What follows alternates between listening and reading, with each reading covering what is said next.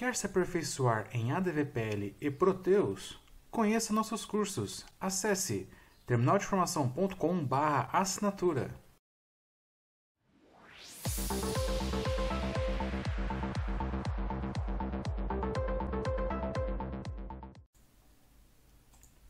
Salve, salve, jovens! Como vocês estão hoje? Espero que estejam todos bem. Jovens, continuando aqui nossa maratona de exemplos, hoje nós iremos abordar sobre as funções TC-Link e TC-Unlink, onde basicamente eu consigo fazer uma conexão com outra base configurada no meu DB-Access. Então, pessoal, eu tenho aqui uma base chamada teste, que é uma base diferente do meu Proteus, e nessa base teste eu tenho essa tabela XYZ. Então aqui, ó, eu tenho três registros nela. Vou executar esse exemplo aqui, 476. Executei aqui, ele mostrou uma mensagem, registro incluído com sucesso. E aqui, se eu der um F5, ele incluiu mais um registro aqui na tabela. Então, vamos ver como que nós fizemos isso via código-fonte. Então, pessoal, basicamente, a TC-Link, como que ela funciona?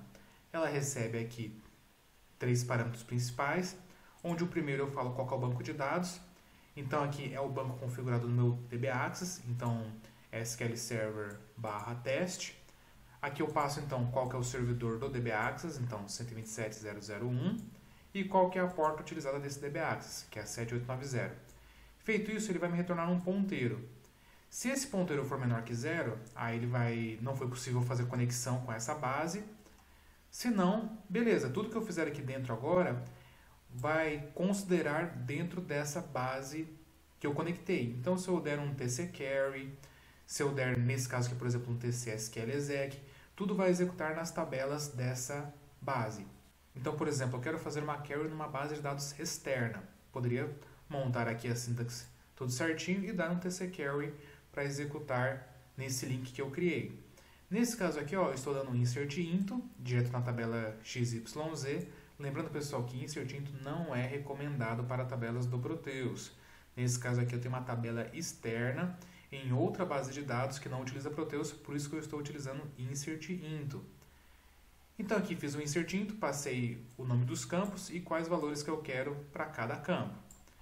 Dou um tcsqlexec nessa query e ele vai executar essa query diretamente nessa base de dados chamada teste.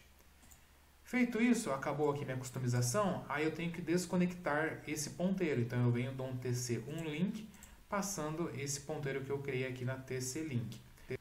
Então dessa forma, pessoal, eu consigo buscar informações com select, consigo atualizar informações com update, consigo inserir informações com insert, tudo em outras bases externas ao Proteus, desde que a conexão esteja no meu DB Access.